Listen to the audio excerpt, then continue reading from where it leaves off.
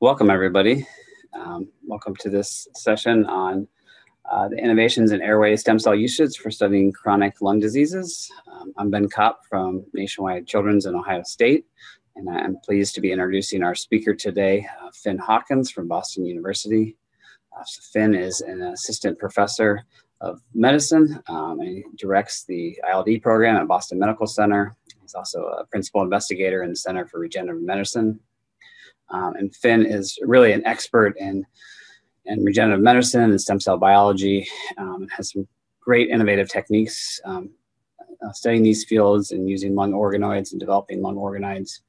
So I'm really excited for his talk today. He's going to be talking about some of the the recent innovations in this field and how we can better use um, these disease models to study uh, chronic lung diseases that span both uh, pediatric and adult disease. So I think it's one of the, the, great aspects of this session is it's really applicable to, to all the researchers and clinicians out there. Um, and Finn, uh, with his medicine background, you know, always puts a good perspective on where we can take these research going forward. Um, so Finn is very well connected, has had some great mentoring in the past, and I think he has some slides to to uh, recognize those folks that he's he's worked with. Um, so I'll let him talk about those. Um, so a minute here, we're going to get started. Um, so um, please feel free to put your questions into the, the chat. Um, we will probably interrupt during the presentation with some questions, and then we'll also have questions at the end. Um, you are all muted in the audience right now, but we're going to have the ability at the end of the presentation, if you would like to come on camera and ask some questions in person, we'll have that ability. Otherwise, um, if you want me to ask, just send it to me in the chat. Um, and then as a reminder, um, this session is being uh, recorded, so everyone please be aware of that. Um, and then I will put a couple plugs. Um, you know, the Science and Innovation Center has um, continued uh, lectures like these uh, throughout the program, so please feel free to visit the website and check those out. Um, and then also a special note today is the the basic and translational scientist reception at uh, 3.30 so please register for that if you haven't it's a good chance to network virtually if we can. So I will turn it over to Finn. Thank you, Ben, for the uh, introduction. Welcome, everyone. It's nice to see some familiar names in the audience. I wish I we were uh, there in person so I could say hello. Um, today, I'm going to be the title of my talk is um, Innovations in Airway Stem Cell Usage for Studying Chronic Lung Disease, and I'm just going to dive straight in so I don't have any conflicts to disclose. And at the very get go, I would like to uh, uh, acknowledge many of the uh, wonderful mentors, colleagues, collaborators, and uh, team members who've contributed to the work that I'm going to show you, including my mentor, Daryl Cotton. Much of the work I'm going to show you today um, was in close collaboration with Dr. Brian Davis and his uh, talented postdoc, uh, Shingo Suzuki, and our collaborators, Steve Brody, Amjad Hirani, at WashU and Scott Randell um, at UNC. in terms of the title of the talk and uh, chronic lung diseases, for the purpose of today's talk, I'm going to focus on three quite different diseases that affect both children and adults cystic fibrosis, primary ciliary dyskinesia, and asthma. Um, but I'm going to have to get through some background first before we get to the disease modeling part. So the disease modeling will be in the latter part of the talk. Overall, my lab, uh, our overall mantra is that better in vitro models will accelerate our understanding of lung diseases and ultimately translate into new therapies. And by better in vitro models, we think of uh, things uh, like uh, human, that the cells are human, that they can represent the unique genetic background of an individual or a patient group that we're interested in, and that they resemble as closely as possible the actual lungs and tissue of interest in terms of their cellular composition, biology, and how those cells work in concert with each other in terms of physiology. And from a practical perspective, it would be highly desirable that this is a pliable system that is scalable. So today's talk is broken up into uh, four sections. First, a very brief introduction to iPSC technology for those who are not that familiar with it. Uh, and then some brief background into the process of directed differentiation of iPSCs towards lung epithelium. I'll then spend the majority of the talk uh, discussing progress driving airway stem cells from iPS cells and their application to chronic uh, lung diseases. And if, if uh, that doesn't float your boat, the simple tagline for this is if you want to understand how a peripheral blood sample can be reprogrammed and ultimately give rise to an airway ciliated cell with functional beating cilia on its surface, uh, then uh, stick with us. So for the first part, a brief introduction to iPS cells for those who are not that familiar with the technology. So this is really revolutionary technology that was first uh, discovered, described by Shinya Yamanaka in 2006, when he discovered that you could take somatic cells, in this example, peripheral blood mononuclear cells, but you can also use, for example, skin fibroblasts. You can take those cells and um, using viral vectors overexpress key transcription factors, uh, typically four transcription factors in those cells. And some of those cells will be reprogrammed into a cell that is highly similar to an embryonic stem cell. The f- transcription factors we typically use are OCT4, c-MYC, KLF4, and SOX2, now referred to as the Yamanaka factors.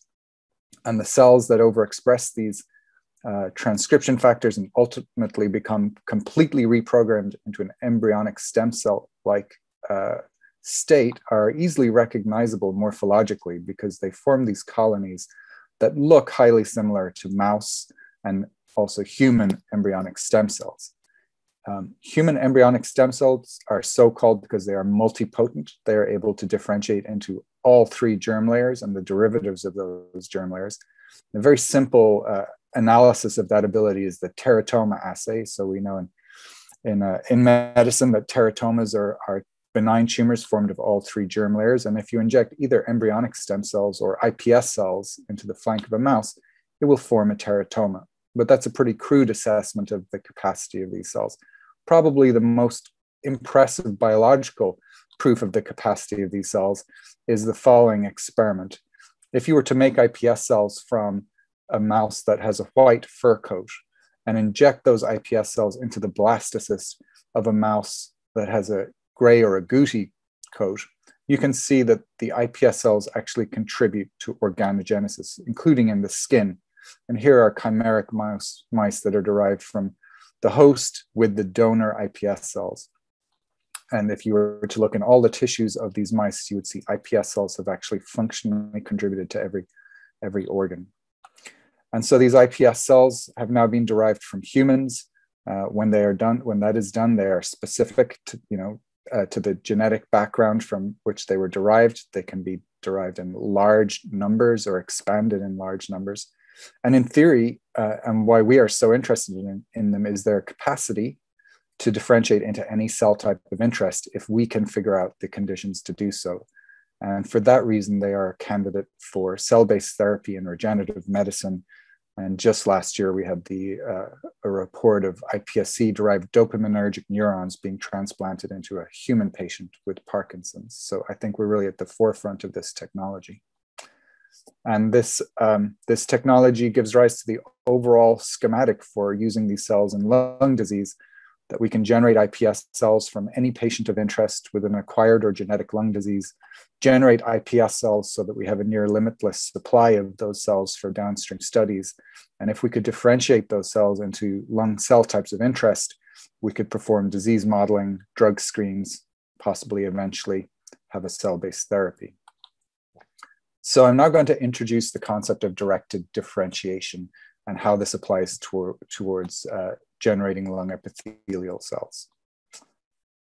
Uh, essentially, directed differentiation refers to the process by which in vitro iPS cells or ES cells are coaxed towards a tissue uh, type of interest by trying to recapitulate the key developmental milestones that would occur in vivo.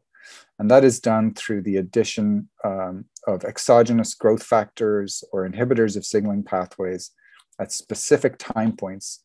Um, and so for the lung, we have this very reductionist approach. Um, and this is the most basic roadmap we could write for ourselves of how an iPS cell might actually get to a mature lung epithelial cell type.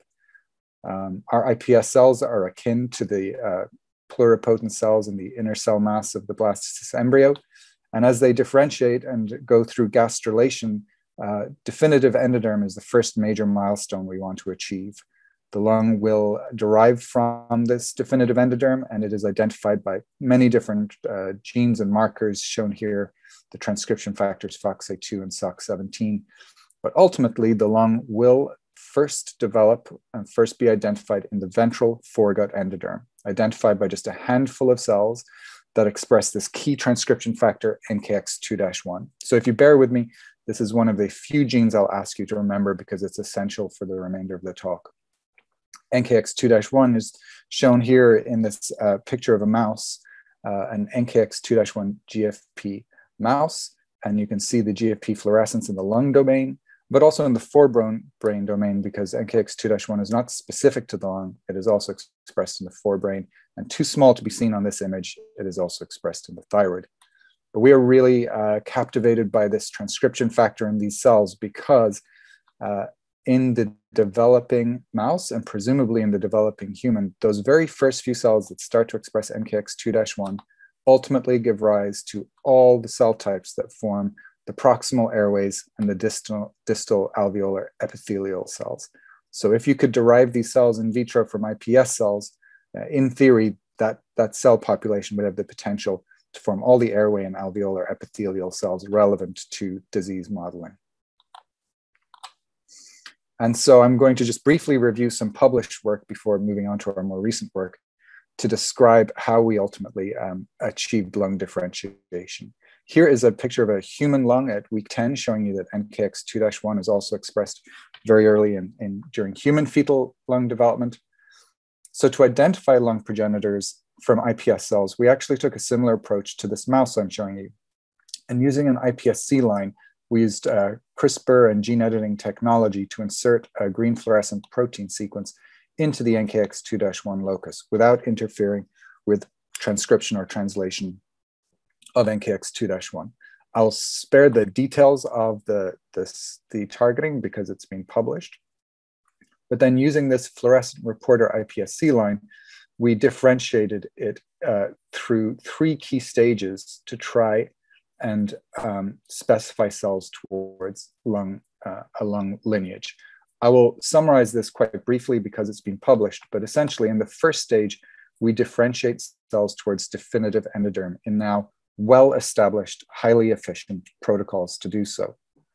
The definitive endoderm is then patterned over the following three days towards a more foregut endoderm state, state by inhibiting uh, TGF beta and BMP4 signaling as described by Hans Schnuck in his lab.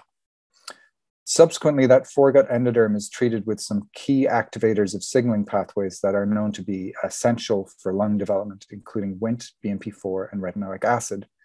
And so when we apply this protocol to this reporter iPSC line, we do indeed see the emergence of cells that express NKX2-1 GFP, as demonstrated here by flow cytometry, but we can also visualize them real time under the microscope. And this video that I'm just briefly going to show you is one of the key videos from my uh, my time in the lab under the mentorship of Daryl Cotton, where working for many years on this project, we uh, performed this time series video over about 24 hours of organoids after two weeks in this differentiation protocol.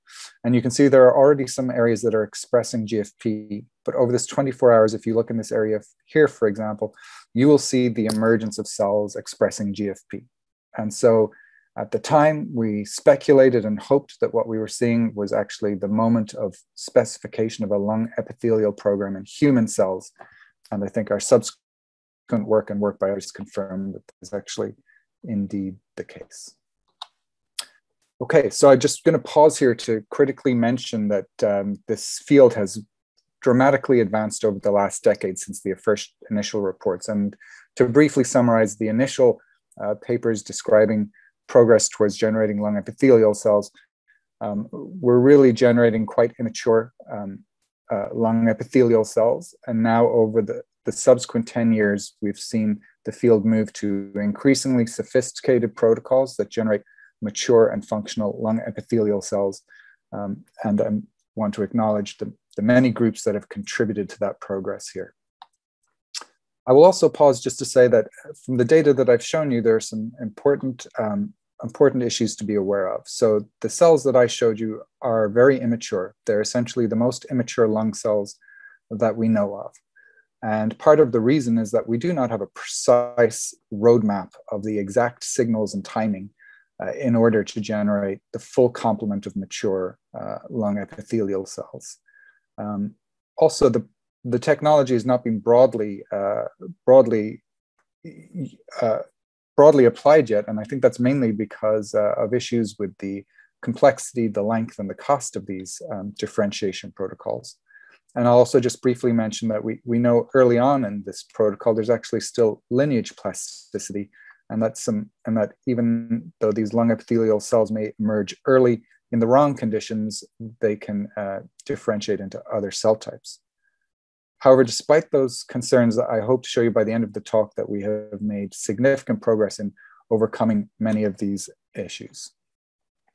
So now on to the uh, main part of my talk, which we'll focus on airway stem cells and their derivation from iPS cells.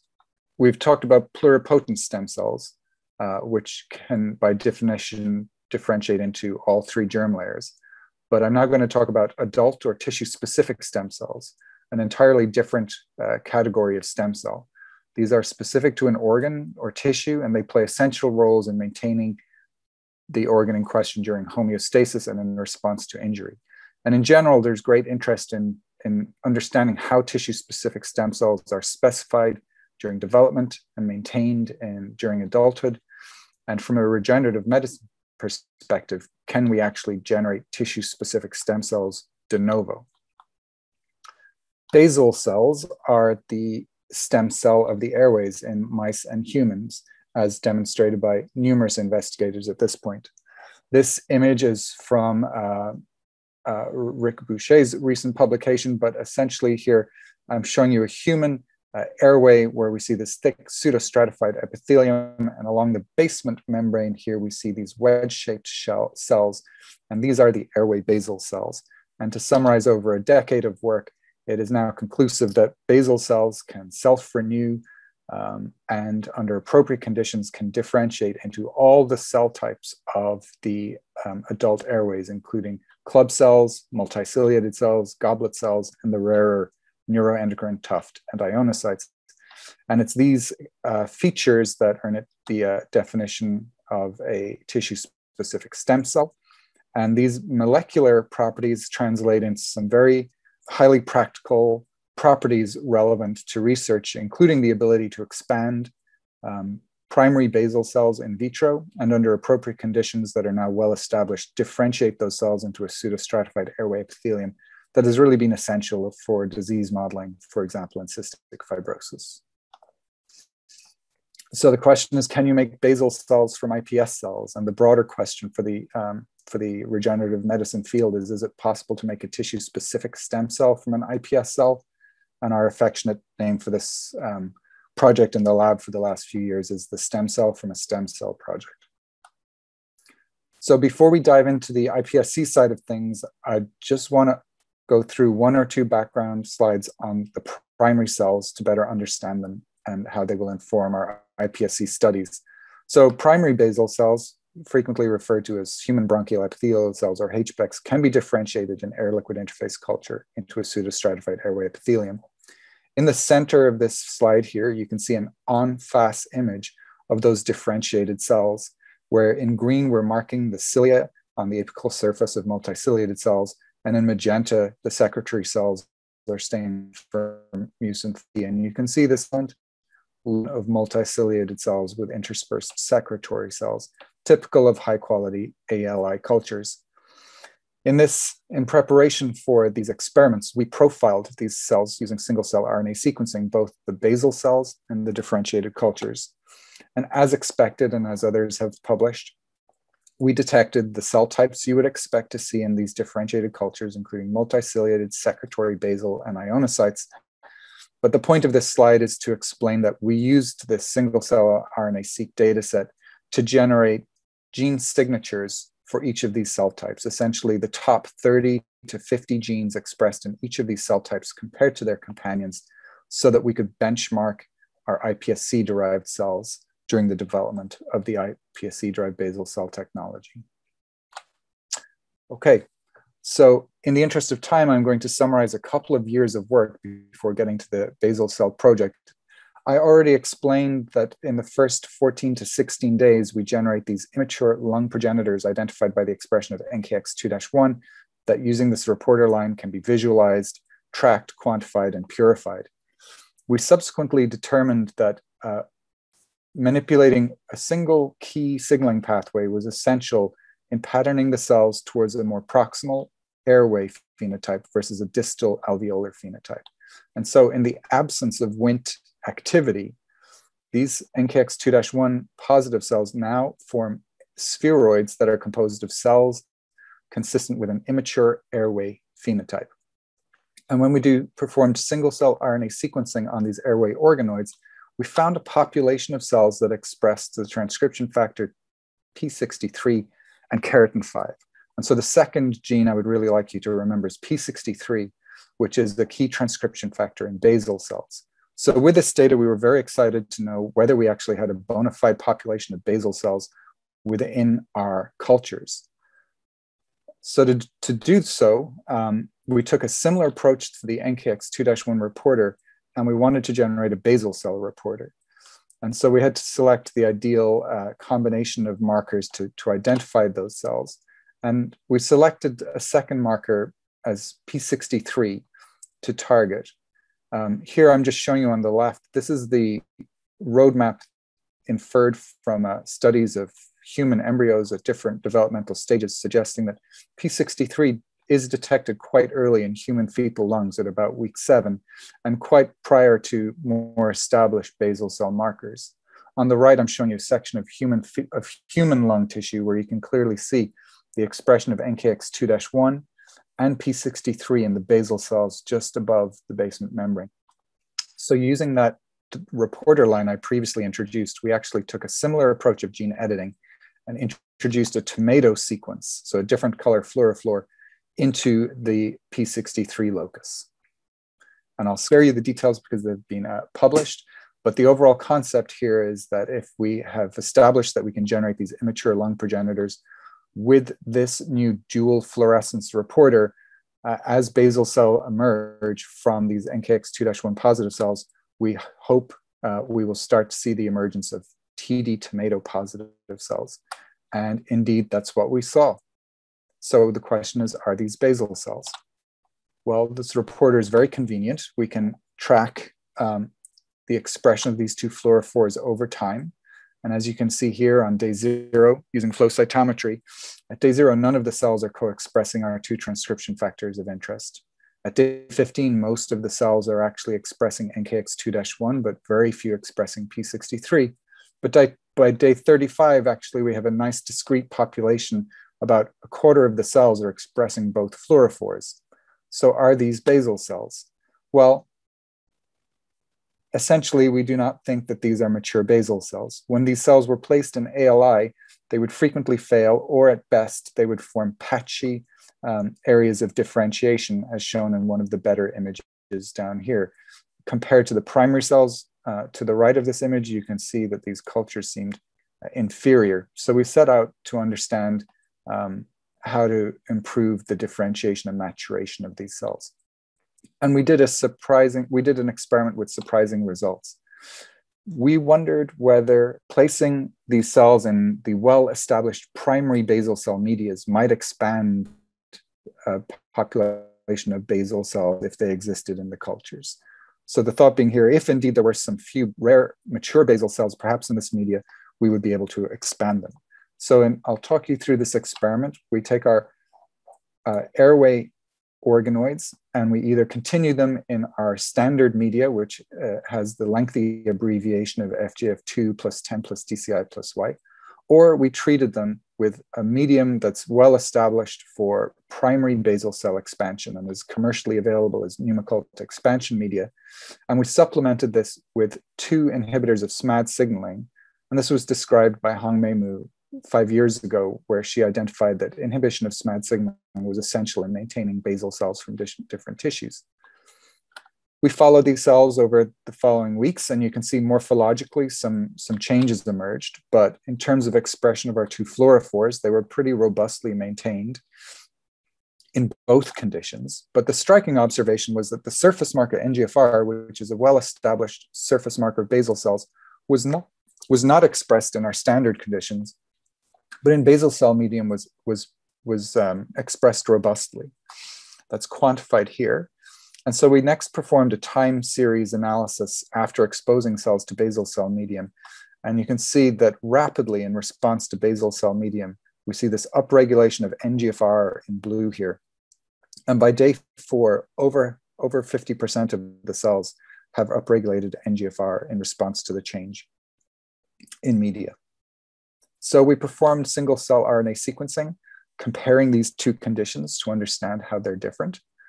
And here you can see a UMAP plot where each dot represents an individual cell. And here in this first plot, they're identified by which media they were in. And uh, in salmon color is the standard old media conditions, and in blue or turquoise is the newer basal cell medium conditions. And you can see that the cells pretty much segregate mostly depending on which media they were in.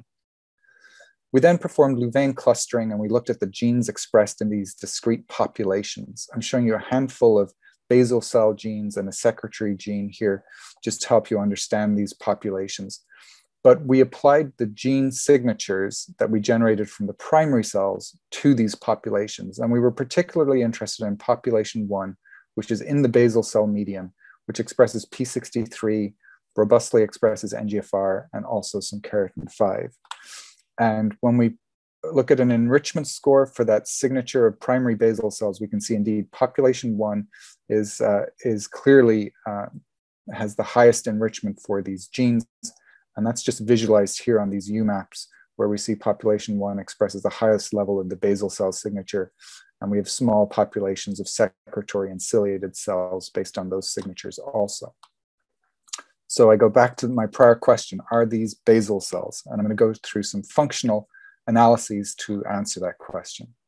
First, in one of my favorite experiments, we did a limiting dilution a clonal assay in using the tracheosphere assay. So to explain the details, we took individual iPSC derived putative basal cells that express our two fluorophores indicating P63 and NKX2-1 expression, but also NGFR. And we plated them in three-dimensional culture conditions at a very low density so that we were confident that a single cell was giving rise to a single sphere. We train, changed those cells to an airway differentiation media, and then we used immunofluorescent staining to assess for evidence of self-renewal, looking for a single basal cell giving rise to multiple new basal cells, and also for multi-lineage differentiation by assessing for evidence of multiciliated cells by looking at acetylated tubulin or secretory cells.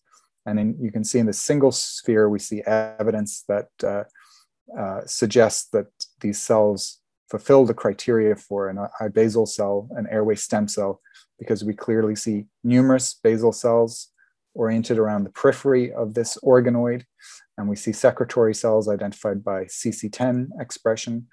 And we see ciliated cells, the cilia oriented to the inner lumen of these spheres. So the next question is, well, how do these cells behave in standard air-liquid interface differentiations? And so this is now our working protocol where airway organoids are generated in basal cell medium, we get the emergence of cells that express classic basal cell markers. And the question now is when those cells are placed in air liquid interface culture, how do they perform? So this image is actually showing you an entire transwell, a 6.5 millimeter transwell, and we're looking on face soon after plating, where you can see the endogenous P63 TD tomato fluorescence identifies a lawn of cells uh, at the initiation of culture. And then two weeks later, we actually see a lawn of green. Um, and here we're looking at acetylated tubulin, so suggesting a lawn of ciliated cells. But this is a small little insert zoomed very, very far out. Let's zoom in, and you can now see a much more confluent lawn of ciliated cells with interspersed secretory cells. We'll zoom in again to give you a better appreciation that this is a much improved mucociliary epithelium compared to prior. If we look at a sagittal section through the epithelium, we see some organization a pseudostratified appearing epithelium with basal cells marked in green along, along the filter, equivalent to the basement membrane as would be expected, and oriented into the um, air are the ciliated cells with cilia on the surface here. We wanted a more unbiased assessment than just relying on a handful of uh, uh, antibody markers. So we performed single cell RNA sequencing of these cultures, and we clearly saw clusters of cells that were highly similar to secretory, ciliated, immature ciliated, and basal cells. I'm just showing you some of the expression patterns on this UMAP of some of the classic basal cell, secretory cell, and multiciliated cell markers. And we were uh, very happy to see that uh, despite what I mentioned earlier about plasticity and imprecise protocols in, in these analyses, we saw virtually no non-lung cells. We applied our signatures that I described earlier to these cells, and you can see they nicely identify the basal, secretory, and multiciliated populations. And then just in a much simpler comparison, we compared the uh, mRNA of iPSC-derived cells to primary HBECs in similar conditions for standard airway genes. And for the most part, we saw broadly similar gene expression. I will mention the one exception is the secretoglobin 3A2, which is much higher in our cells than in primary airway cells and may indicate a more immature secretory phenotype or possibly a more distal. One of the really uh, practical surprises of this protocol and advantages is the ability to culture these iPSC derived basal cells for extended periods. So here I'm showing you the P63 fluorescence of these spheres in their three dimensional culture format. But actually, even after three months of in vitro passaging, in this platform, when placed in ALI, they maintained their capacity to differentiate into multiciliated cells and secretory cells. And we now have developed robust, um, efficient protocols to cryopreserve these cells um, at the ibasal cell stage. Uh, I'm going to refer to these cells as iPSC derived basal cells or ibasal cells from this point forward and they freeze and thaw efficiently, which uh, is a major practical uh, advantage in terms of not having to start a protocol for every experiment. And this was uh, some cells that we shared with our collaborator, Scott Randell, and he took this beautiful video of a mucus hurricane, an iPSC-derived uh, airway epithelium. And so this is uh, coordinated cilia beating, uh, debris and mucus at the apical surface of a transwell generated from iPSC-derived airway cells. I know that's been a rapid review of the technology and the progress in deriving airway stem cells um, from iPSCs. I'm now going to change gears and focus on how we might use this technology to study chronic lung diseases. I'll go back to the three diseases I said I would, uh, I would highlight uh, at the beginning, cystic fibrosis, primary dyskinesia, and asthma. Uh, very different diseases with unique research challenges and questions. And I'm certainly not suggesting that IPS cells are the unique solution to these questions, but I do think there are uh, unique select questions that the iPSC platform might be well suited to address within these disease fields. So let's start with asthma. And uh, asthma is, a, of course, a very interesting disease that affects both children and adults. And one interesting feature is the, the role of the airway epithelium as you know, really a, a sentinel tissue in terms of asthma pathogenesis, which forms part of this complex interplay between genes and environment. Studying the epithelium in humans has been quite challenging, but there are some um, important questions. This is a this is the classic image uh, that's shown of the juxtaposition of an asthmatic airway beside a normal airway, with the uh, mucus metaplasia, increased intraluminal mucus, the thickening of the basement membrane and lamina propria, with the accumulation of extracellular matrix and the smooth muscle hyperplasia that are characteristic of the airway remodeling seen in asthma. And some of the questions, simple questions of why do certain individuals, uh, why are they susceptible to asthma?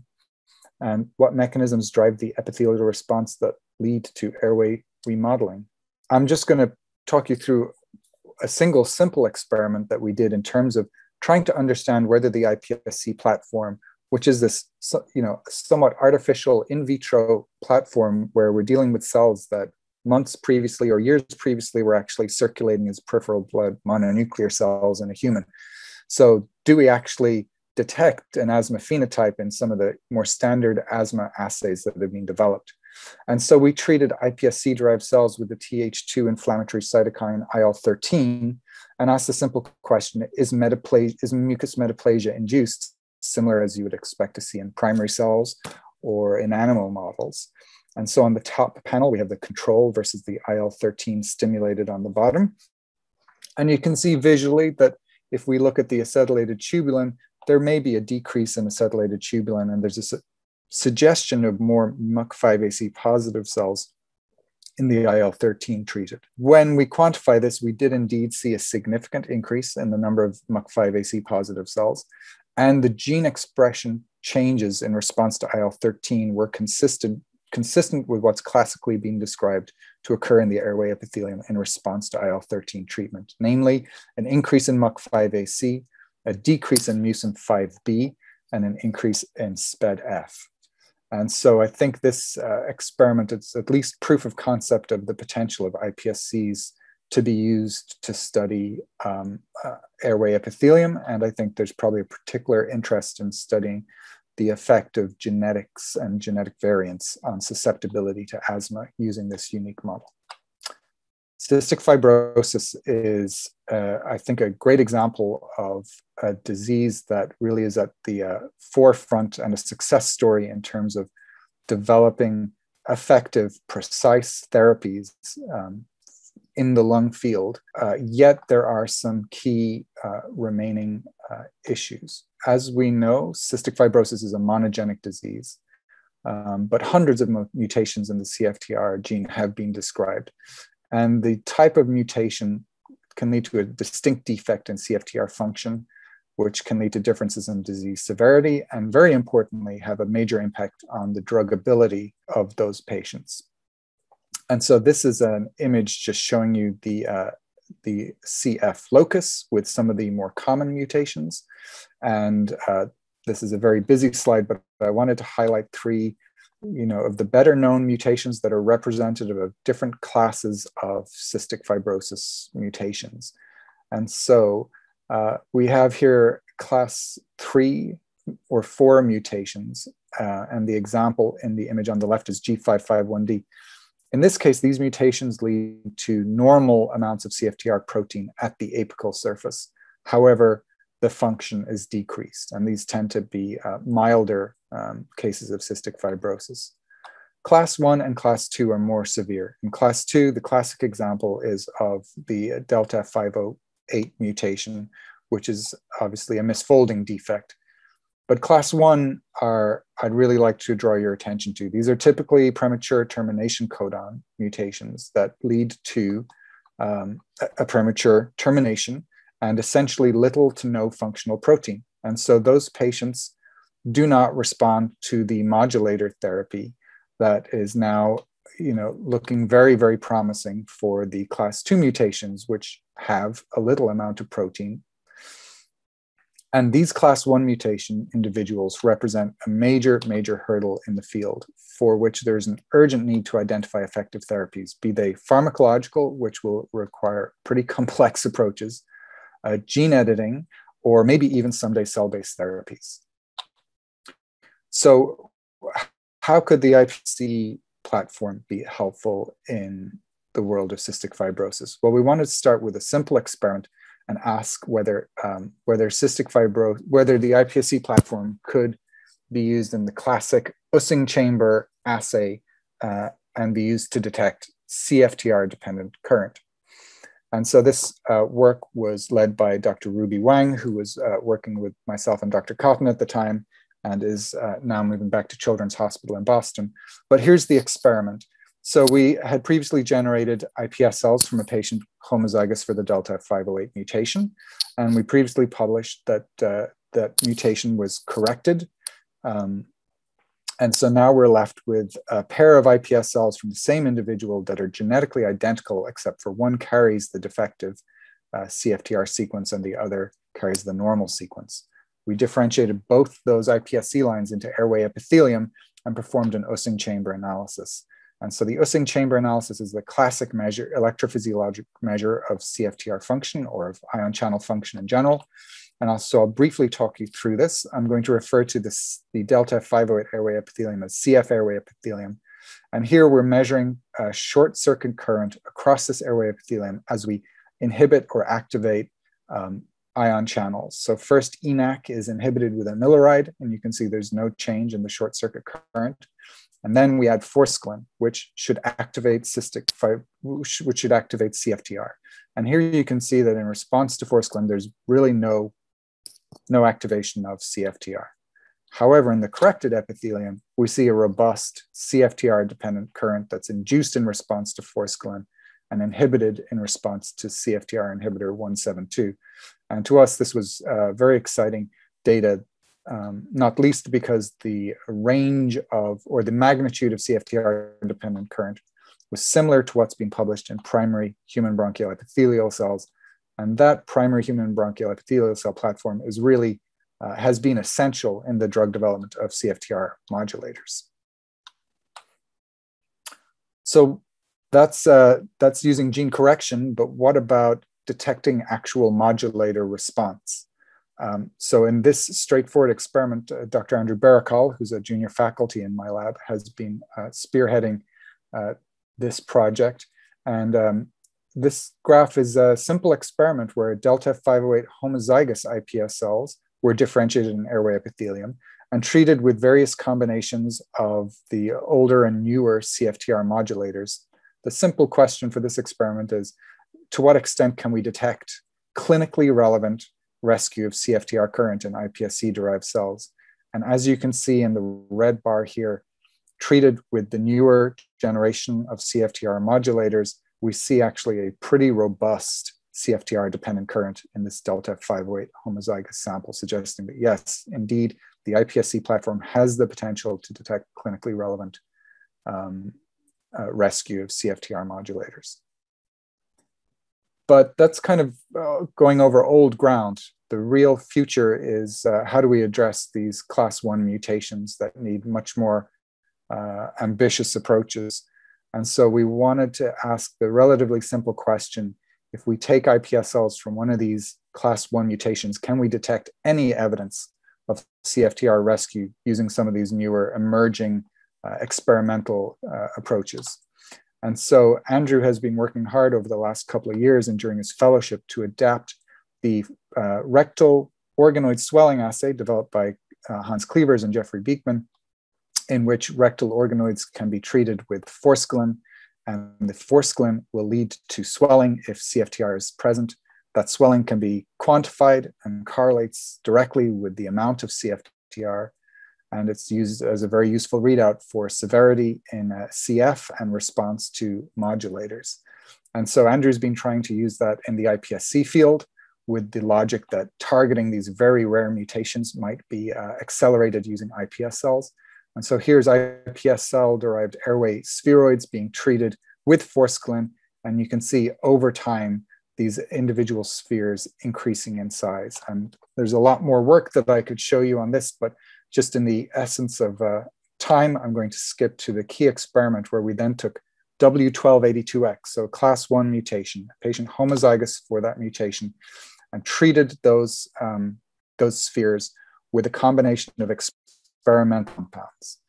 And briefly, the pharmacotherapy, there are no, there are no uh, effective treatments for these patients, but you know, current studies are focused on uh, a complex, multifaceted approach, which includes trying to achieve read-through of the premature termination codon. So here we're using G418, an aminoglycoside, to try and achieve a level of read-through.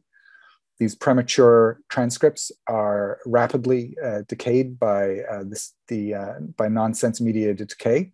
So here we're using an inhibitor of the SMIG1 pathway. And we're also treating these cells with uh, modulators and potentiators.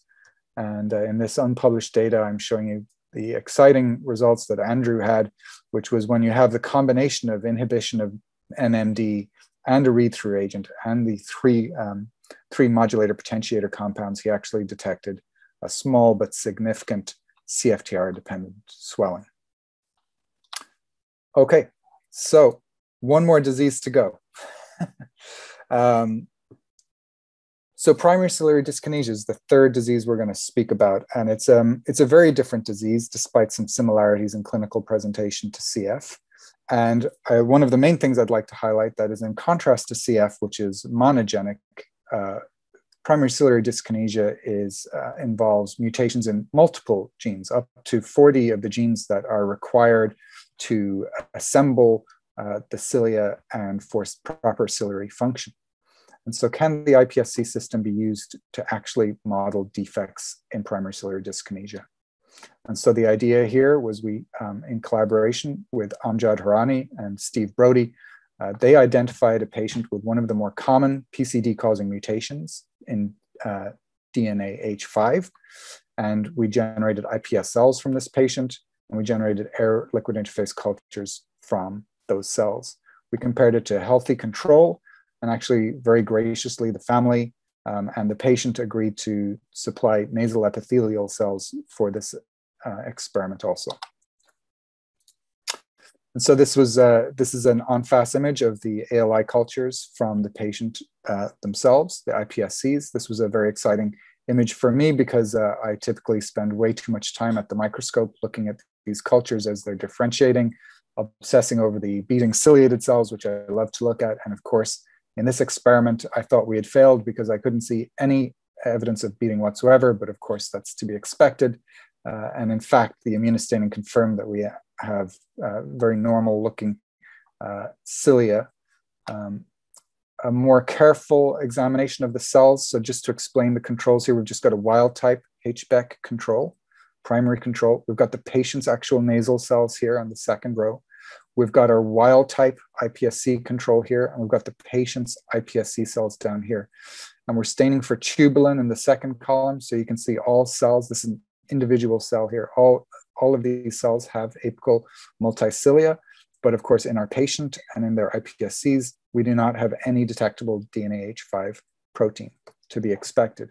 And then this is transition, uh, transmission electron microscopy and it shows the classic but subtle finding that in the patient, you lose this small comma sign, the little comma, comma that is uh, the outer dining arms, which you can actually see here in red on the uh, non-affected cells is missing on the patient cells, be they iPSC or primary. This is simply quantified here that we didn't really detect any outer dining arms uh, in the mutant samples and the ciliary beat frequency was ab absent, zero in the PCD samples. And um, uh, this is best understood if you can actually see the video of these cells. So in the next slide, I'm going to show you video of all four samples. So here's the healthy control. You can see robust cilia beating. Here's the parent. You can see this more sluggish cilia beating. And here in the actual patient cells and the, and the iPSC cells, despite long, morphologically normal appearing cilia, they are not, they are not beating. So we really hope that given the genetic diversity of PCD, the private nature of some of the mutations, uh, and the lack of any precise uh, effective therapies like exist for CF, that the iPSC platform might help accelerate research in this area. So we've talked about three different diseases, but to just close, I'm going to talk about the potential long-term uh, this is science and innovation, so this might be the science fiction aspect of, of, uh, of the talk. The potential to actually cure these diseases if you had an effective, safe based therapy. And this is a, a way off. But we're seeing examples in other disciplines of, of this approach being effective. And of course, hematopoietic stem cell transplants have been um, a, a, really amazing um, revolution in, in hematology. So could you actually achieve uh, airway regeneration with iPSC derived basal cells that ultimately you might be able to achieve autologous cell-based therapies for genetic airway diseases? I'm just going to show you one experiment that we did with uh, Shingo Suzuki and Brian Davis to try and assess whether this was even feasible. And it's very challenging to get lungs to engraft in the to get excuse me cells to engraft in the lungs of animals and so we actually used an established approach that's called the tracheal xenograft model, described a couple of decades ago at this point, and this is where you take a rodent rat trachea, repeatedly cryo flash freeze it to kill all the uh, endogenous cells. Then you um, then you introduce your cells of interest into the uh, lumen of the trachea. And after a brief culture period, it's actually transplanted back into a mouse.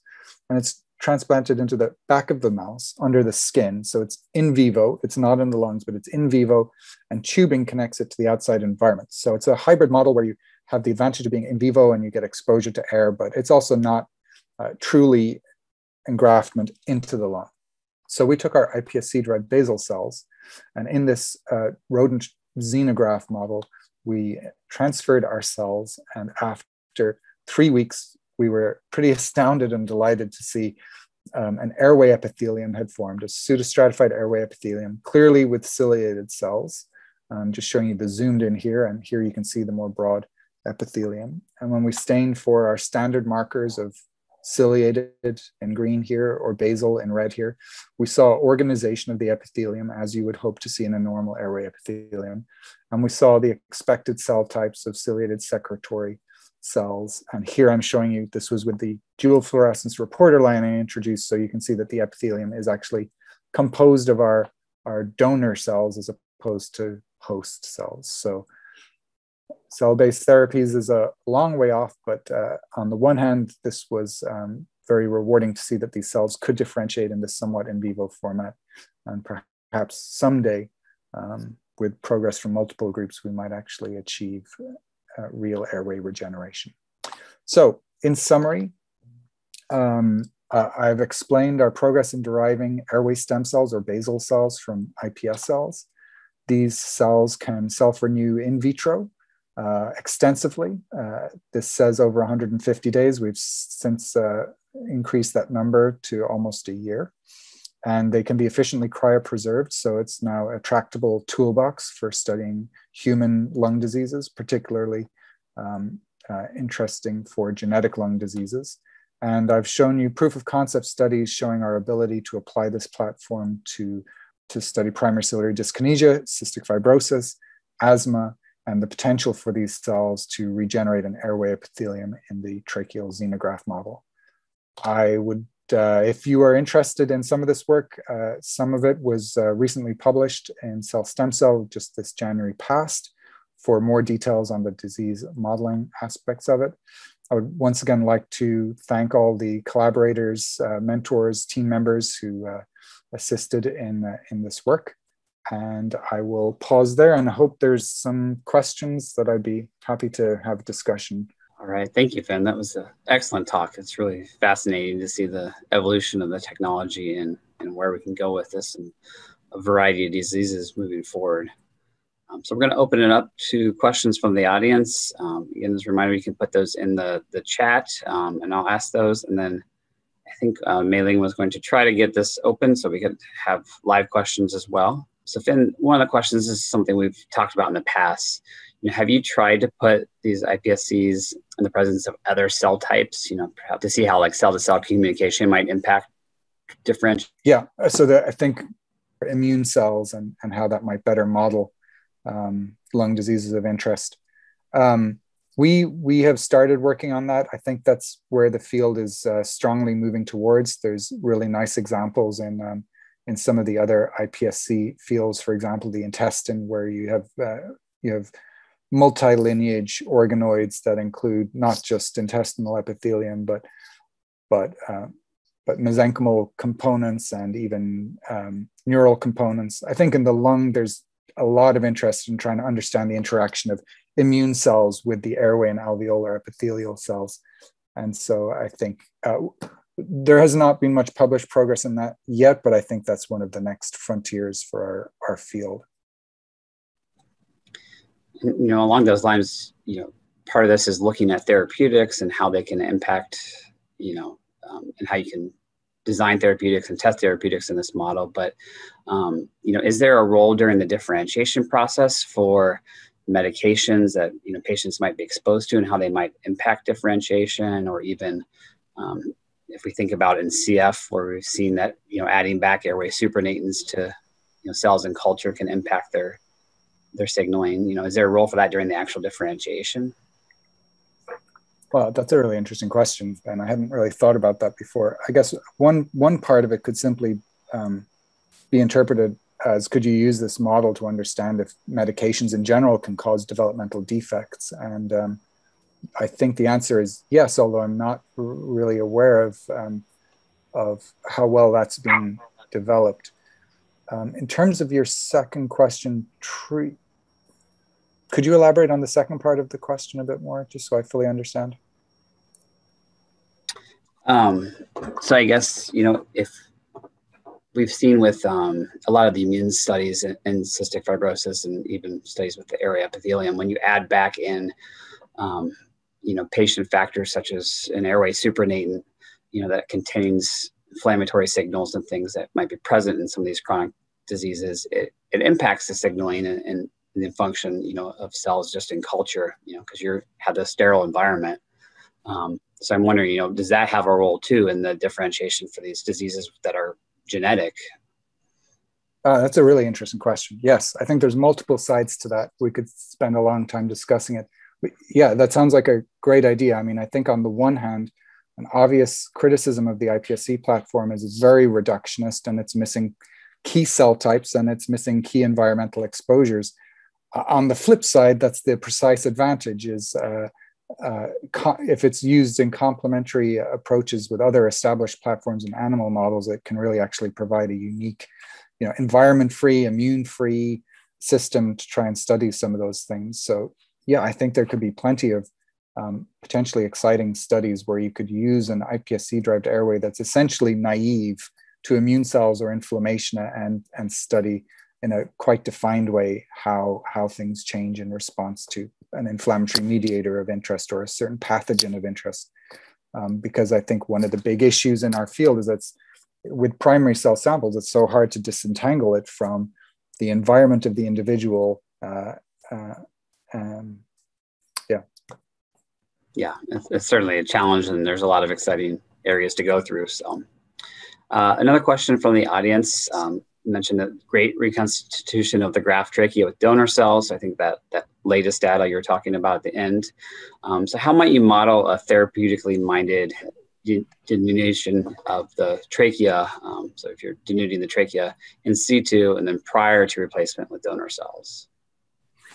Well, I see that's from Malar. Um, yeah, I would love to hear if anyone else has any ideas. But um, in terms of thinking about cell-based therapies, we have quite a long way to go. And I think most of our models for airway injuries, there's really only a, a couple and they're pretty, pretty crude. But um, I mean, there's, it, it can be from as simple as, as bronchoscopically using a brush and, and making a very mild injury to, you know, more sophisticated approaches like, uh, you know, we use bronchial thermoplasty for asthma and, and it's used in asthma for its effects on the smooth muscle, but um, it, it also causes a denudation of the, the epithelium, not in the trachea, obviously. But the, the short answer, I think, is we don't really yet have the precise tools to do this in larger animal models or in humans. And, and that's something that the field desperately needs to prioritize is, um, is you know, very well understood, controlled um, methods of injuring the airways that would be tolerated. Um, to advance these studies. And I'm not saying doing this in patients yet. I'm saying just to actually start developing the overall approach. Yeah, I agree. It's it's it's important to get those those next steps and continue to advance the models. Um, a couple more questions are coming in. Actually, it's great from the audience. Um, so, Rob Teague asked, um, with different donors, have you been um, begun to identify differences in the ability of iPSCs to develop IBS, IBCS um, so from the iPSCs into the basal ones. In addition, do you, some of these have less or more potential to develop um, alley cultures? Um, he was interested in the individual genetic diversity and maybe that how, how that might affect the ability to generate and recover airway structures. Yeah, that's a really great question that actually gets to some some really quite um, significant issues with the platform overall. So, do we see differences? Donor to donor.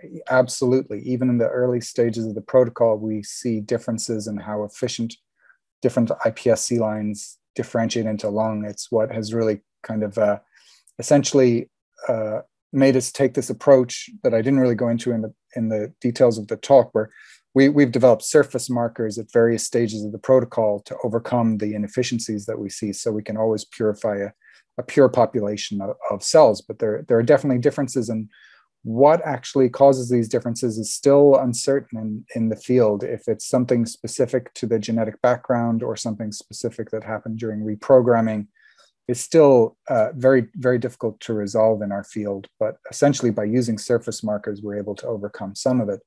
Does some of this lead to defects in differentiation? I don't, I don't know the answer to that yet because uh, almost all the iPSC lines that we have differentiated in this protocol, which is upwards of, I think, probably 12 now at this point, all of them have ultimately been able to generate high quality ALI cultures, bar one, that we don't understand why that one line did not generate high quality ALI cultures.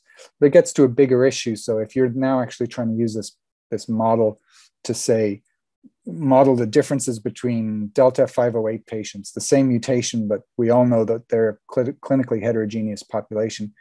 Um, can you use this model to, to interrogate that heterogeneity, given that there's already some inherent uh, differences in the protocol? The, the long answer is that's going to take a lot of work and a lot of different samples to get, get to that ultimate point. The good news is there's lots and lots more people getting into this field uh, than there were five years ago. So hopefully we'll move move towards that. Yeah, that might be an interesting you know, study if you look at the you know the sibling studies that were done with with cystic fibrosis in the past from a genetic standpoint and the, the diversity there. So that that might yeah. always be an interesting way to go about it. So yeah. Um, all right. Uh, next question. Uh, this was just a basic question on the iPSCs.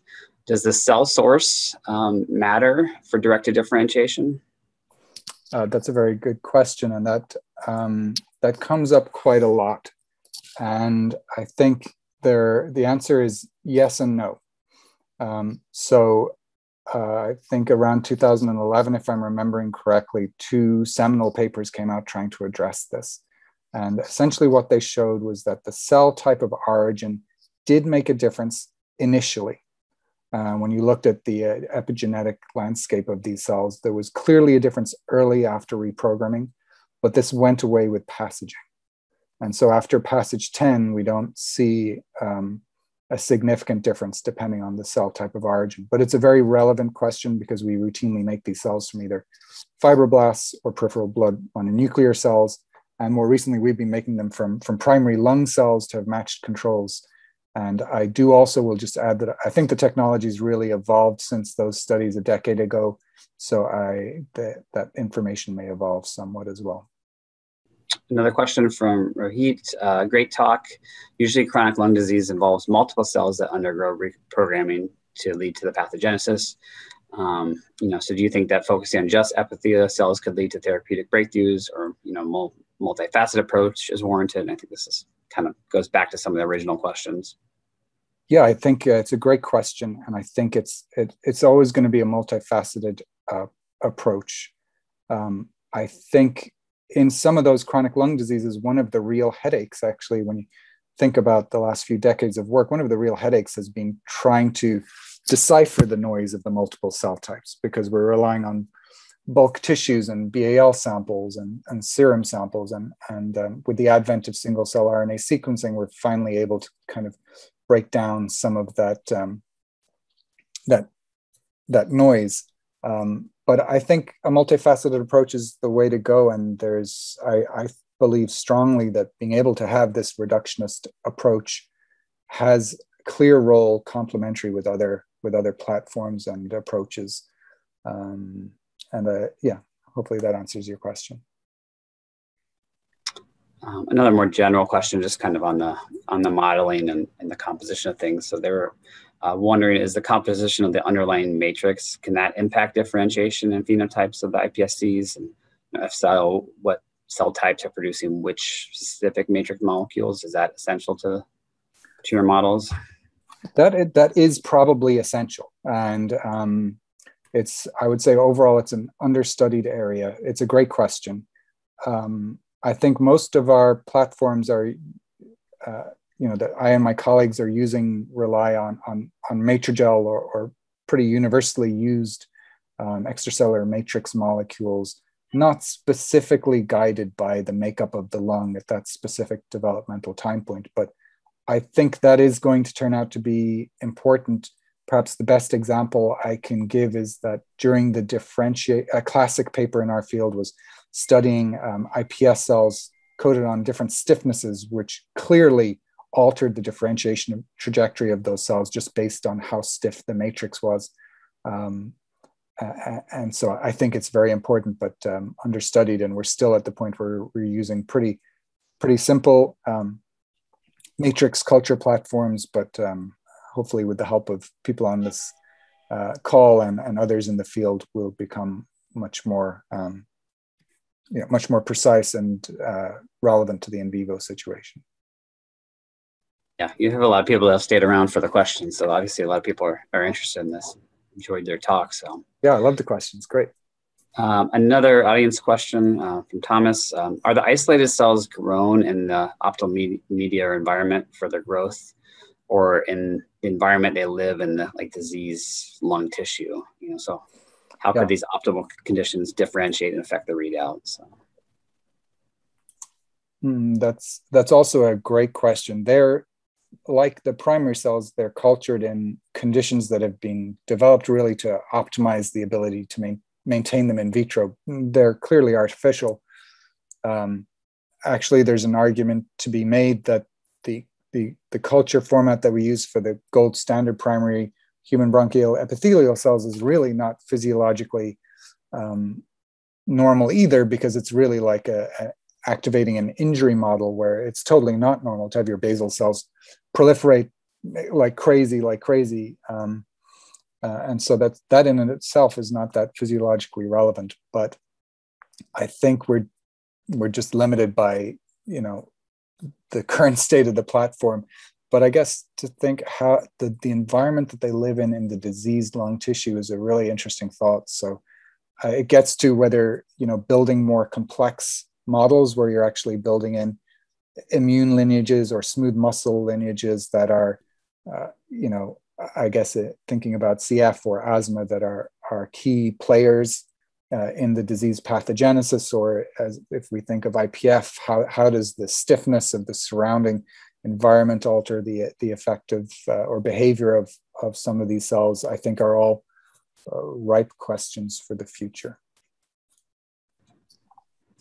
So a lot of the you know the diseases we talked about here today are are chronic lung diseases, and obviously this is a you know a snippet in, in an area to look at. Um, is there a role, do you think, for this in acute lung injuries? You know, is this a, a relevant? I mean, it's probably a relevant model, but you know, is this a feasible model for looking at acute lung injuries, or do you think a better model for chronic lung, lung injuries? Well, I'd say I think you could make a strong argument that it's a better model for acute lung injuries overall because chronic chronic lung disease just, uh, I mean, simply put, takes years and years to develop and is usually a very complex interplay of environment, genes, different cell types, and acute illnesses are probably better suited to this model. So, I'm. Uh, we are we are working on SARS-CoV-2 responsive airway epithelial cells as an example. I see Dr. Gotoh, um, who is one of the leaders in the field based in Japan, has has done similarly. Um, and I think I'm trying to think of other good examples of, uh, of acute injuries, but asthma exacerbations, um, uh, ARDS, the initial response of the type 2 cells to acute injury. I think these are these are questions that that are probably overall better suited to this platform than chronic chronic complex lung diseases. And, certainly the, the ability to cryopreserve cells and, and, get this, you know, models in the hands of other investigators is really important breakthrough. So, um, all right. Um, well, it looks like we had another couple questions that just came in. Um, so, do you have any studies of different stages of development and the response to different viral illnesses um, like RSV or rhinovirus and the differentiation of iPSCs. So obviously you're looking at SARS-CoV, but yeah, that's a great question. I, I can, um, we have not done work in that area. I can point you towards Dr. Hans Snoeck has a paper from 2017 where they did look at RSV um, ability to infect iPSC derived um, lung but I think if I'm understanding the question, maybe you're hinting at whether there's differences at different developmental stages. And um, I don't think anyone's looked at different developmental stages. Uh, I guess it's an interesting question in terms of if you could make lung epithelial cells that represent, you know, late fetus versus early newborn versus a childhood. Uh, I don't think we're at the stage yet where we've been able to to do that, but um, but there are some initial uh, papers describing describing at least the feasibility of infecting iPSC-derived lung cells with RSV. I think particularly in the context of asthma, where we, you know, we see folks that seem to have a different trajectory and a lot of epidemiologic literature based on their early exposure to viruses. That could be a really important yeah. way to exactly to and that. How, how, that interplays with some of these genetic uh, susceptibility traits. Sure, sure. Um, another question um, from Caroline. Um, have you looked at the longevity of the differentiated cells in an ALI culture and compared it to the cellular turnover that's expected in the human lung? So how does how do those compare?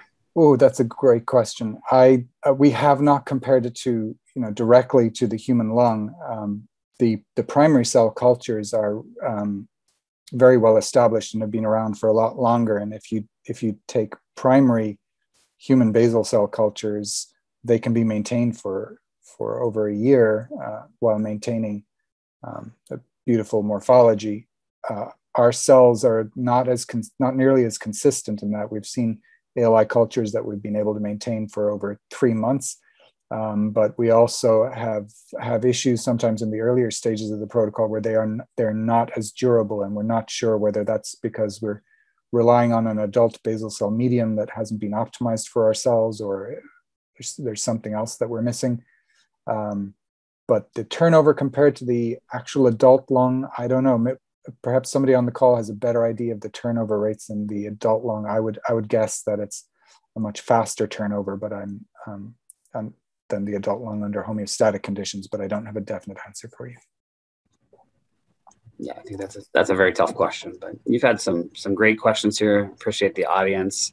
Um, I think we'll we'll probably wrap up here. I don't see any other cultures coming in or questions coming in. But um, if there's any other thoughts from the audience, please uh, feel free to chime in here. But um, I'll remind everybody that since this was recorded, please you know share this with your your colleagues that weren't able to attend today. Um, if you have further questions for Dr. Hawkins, you can connect through the ATS platform itself, send a message, or certainly um, on Twitter. Um, he's on social media. That's another way, and email, obviously. I'll thank the audience again, and thank you, Finn, for this great talk and, um, and for all these uh, great thought on the question and answer session here. So appreciate it. Thank you for the invitation, and thanks for all the great questions. All right, thanks, everybody. Have a great rest of conference.